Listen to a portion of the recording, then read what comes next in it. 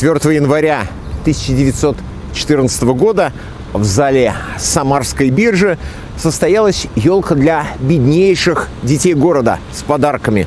Задача устроителей этой елки заключалась в том, чтобы дать возможность воспользоваться праздником тем, кто действительно в этом нуждался, чтобы одеть их и хоть раз в году подарить счастье. Дремлет мой дворик заснеженный. Тихо луна улыбается. Хочется петь что-то нежное. Хочется плакать и каяться. 1914 год такой близкий и далекий, такой не похожий на нас, понятный и непонятный. Самарцы вступали в него своими мечтами и надеждами. А вот исполнились ли они, спросить уже некого. Но зато мы можем рассказать, как этот год начинался. Итак, на дворе у нас 1914. Готовясь к елке на бирже, ее инициаторы устроили подписку среди местного купечества, которая дала больше двух с половиной тысяч рублей. На эти деньги было куплено более 400 детских пальто, 400 пар валенок, 200 шапок, теплые кальсоны для мальчиков и отрезы на платья для девочек. Кроме этого, некоторые из купцов пожертвовали сладости, которые привозили сюда пакетами и ящиками. А известный в городе купец Башкиров предоставил 30 лошадей для развозки детей на елку и с елки из Нового Оренбурга за Самарской Слободы, Монастырского и Новомещанского поселков. Для отыскания действительно нуждающихся биржевым комитетом была организована специальная комиссия, которая обследовала городские окраины и выявила около тысячи бедных детей. Но поскольку количество подарков было ограничено четырьмя стами, в первую очередь на елку решено было пригласить их по специально выданным заранее билетам. Между прочим, как было отмечено устроителями, человек пять детей были доставлены сюда совершенно раздетыми и даже босыми. И дело совсем не в хитрости или в чем-то подобном. Радуясь елке, матери отпускали детей на праздник завернутыми в свои юбки и в драные одеяла. Вот уж действительно нужду не спрячешь, даже если на дворе Новый год.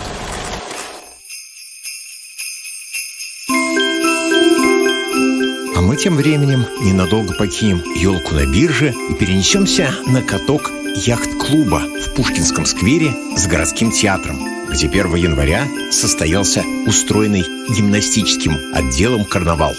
Уже с 12 часов дня каток был переполнен катающимися, а к 5 часам вечера здесь собралось много зрителей, желавших посмотреть карнавал. Но оказалось, что самарская спортивная публика была не готова к этому новшеству. На катке катались только несколько костюмированных пар, но и их костюмы не отличались оригинальностью.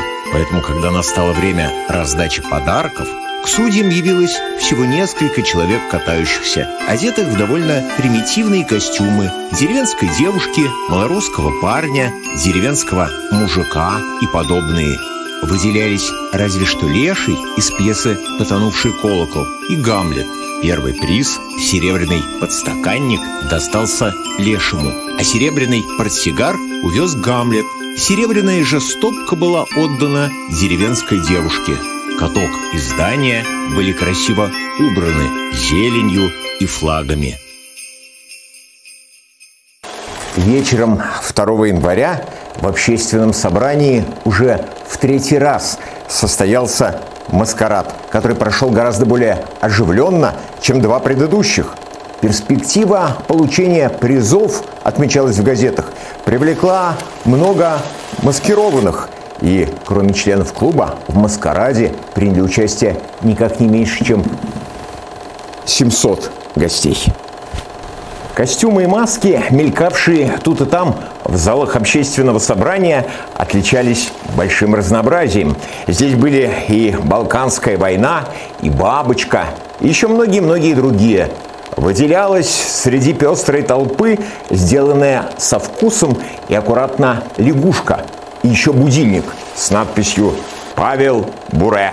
Очевидно, Балканская война пробудила в самарцах патриотическое чувство, писала на следующий день газета «Волжское слово».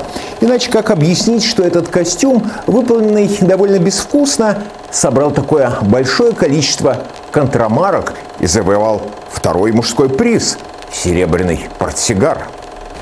А вот второй женский приз достался порадовавшему многих собравшихся рекламному костюму табачной фирмы Шапшникова.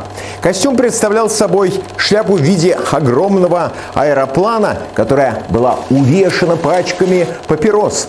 Кроме этого, все, кто вручал свою контрамарку обладателю этого костюма, получали в подарок пачку папирос от Шапшникова.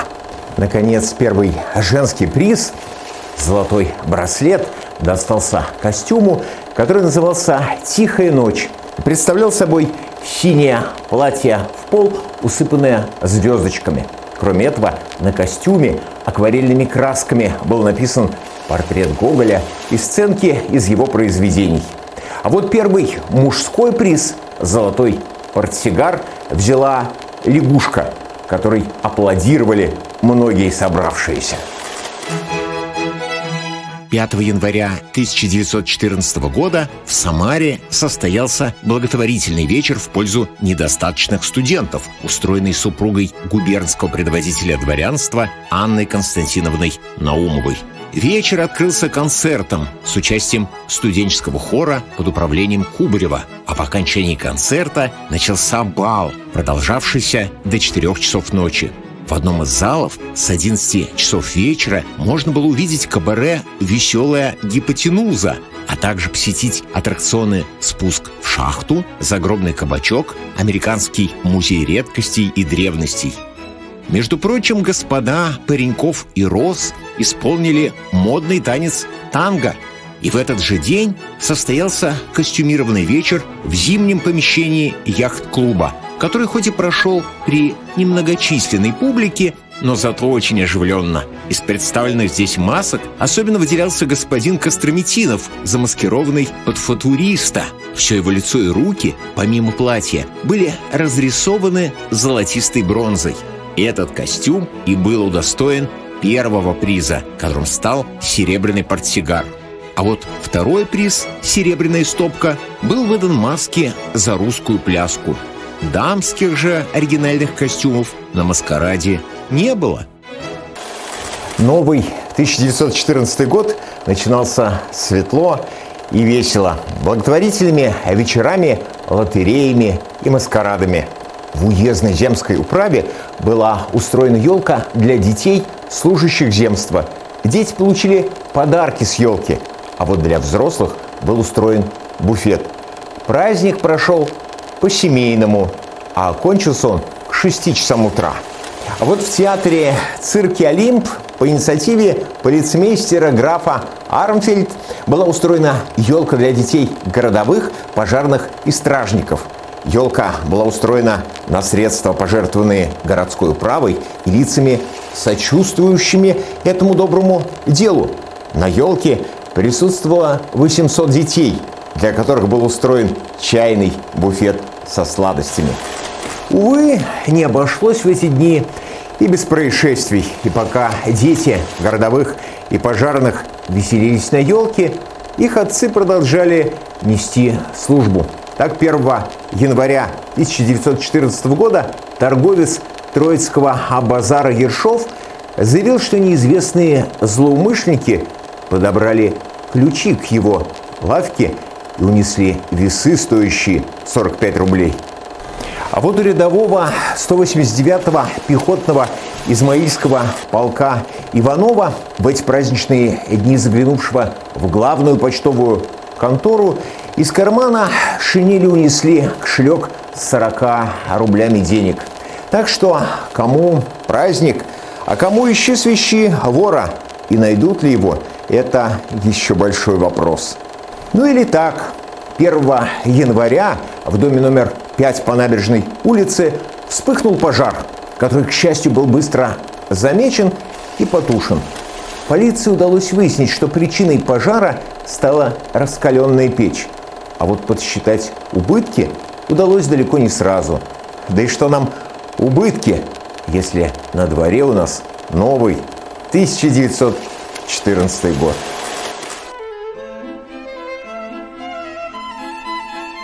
А вот в зале общественного собрания 8 января 1914 года был устроен благотворительный вечер в стиле XVIII века в пользу слушательниц высших женских курсов. Вечер, представляющий новость для Самары, привлек много публики. Зал и киоски были выдержаны в стиле 18 столетия, что вполне гармонировало с содержанием концертной программы. Плавные, красивые танцы, постановка пантомимы, предсказатели и чародеи старых времен, музыка XVIII века – все это заставило публику ненадолго забыть настоящее и сполна отдаться прошлому. Из отдельных номеров выделялись дуэт из «Пиковой дамы», романсы госпожи Ивановой и другие. Смешили публику арабчата.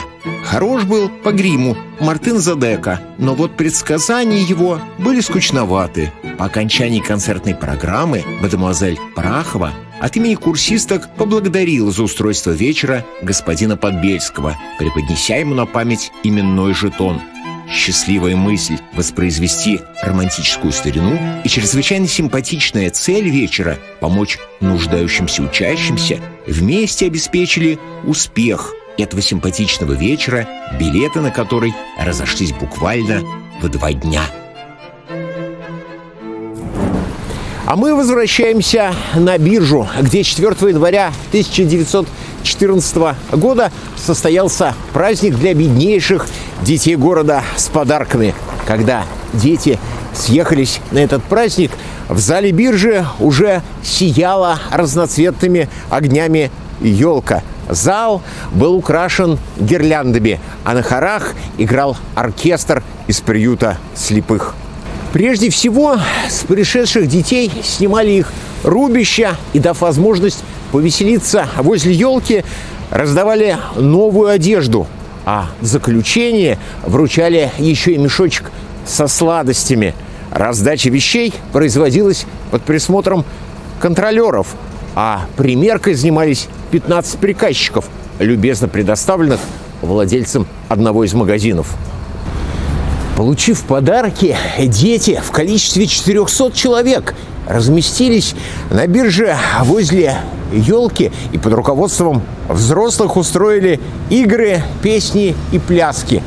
А потом этот огромный детский хор исполнил народный гимн «Боже, царя храни», который утонул в громком «Ура». Удовлетворив первые четыре сотни нуждающихся, инициаторы праздника пустили остальных, раздав им сладости и оставшиеся подарки.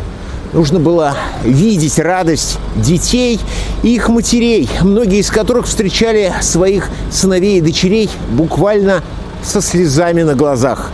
Начавшаяся в час дня елка завершилась только к 7 часам вечера, доставив истинное удовольствие и участникам, и организаторам.